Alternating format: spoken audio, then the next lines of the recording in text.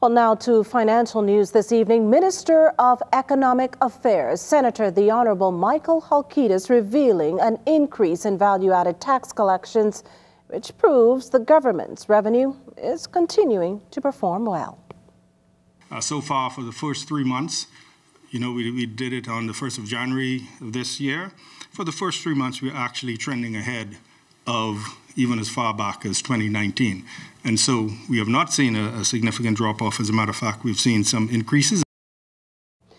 Well, the government attributes the VAT increase to more people working and spending money here at home.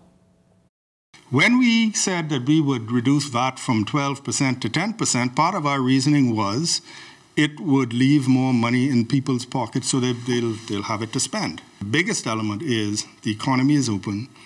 You walk around, you see, I mean, you know, six cruise ships in the harbor. The airport is packed. Every flight is full. You can't get a room in the hotel. So the economy is, is moving. And that is, that, is, that is what's really driving it. There's an element of, of inflation, but um, the, the biggest part of it is movement in the economy.